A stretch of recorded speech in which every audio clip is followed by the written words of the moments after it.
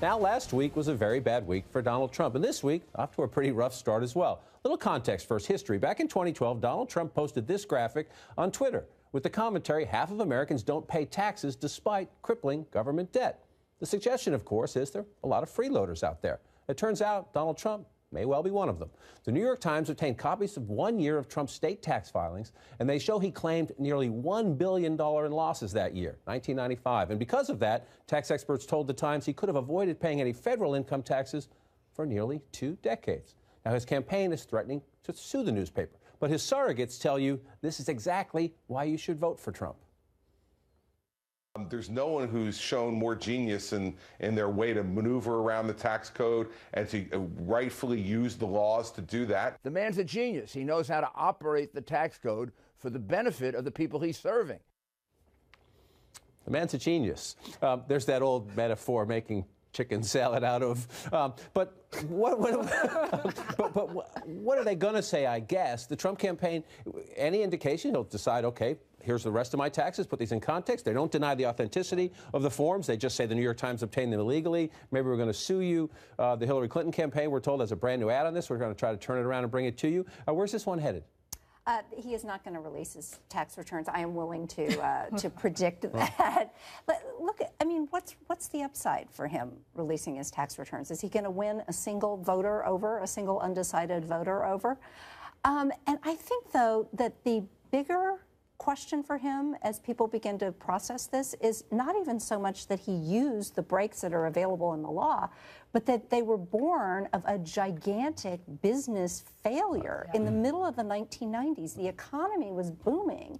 And somehow he managed to uh, have that chicken salad moment with this business. his casinos were losing money. His airline was a failure. He had some, the Plaza Hotel and some other real estate investments went bad. And this happens. It happens. Uh, you know, he's in a big business. Big business is a lot of money. But to your point, you know, uh, if if this was just a bad year and you are a smart businessman, he could prove it.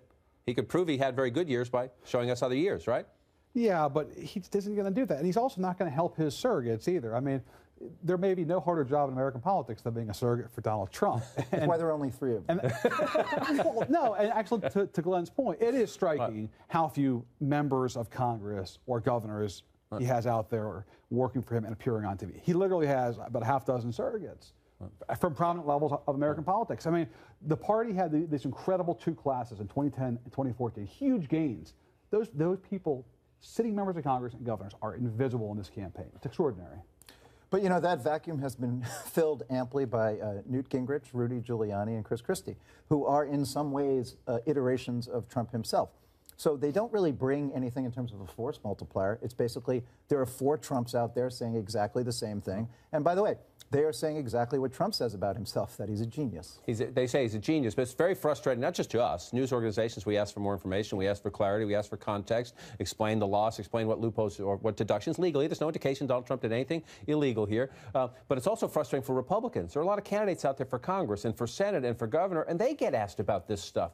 And when you talk to their campaigns, they say when they reach out to the Trump campaign, they get the same talking points that yeah. he took advantage, he didn't do anything wrong, took advantage of loopholes available to him, and if he paid very little or nothing, that makes him smart. Right, and guess what? Uh, most Americans don't want to pay uh, taxes anyway, or, or want to pay as few taxes as possible. So that's what Donald Trump uh, was doing. The problem is they're going to be hearing about this in in television ads. I mean, right. Priorities USA already cut an ad that they're playing uh, in in uh, in some of these battleground states. It's featuring a woman uh, in Ohio where she's talking about Donald Trump is playing by different rules. She had to pay taxes.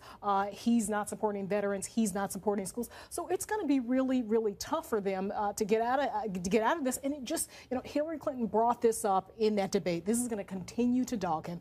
I think you're mm. right. He's not going to release the taxes, but you get more questions about who he would be as president. Also, would he close these loopholes, right, that allowed him to take advantage of, of this, this large tax write off in the early 90s? Apparently, no, if you look at his tax plan.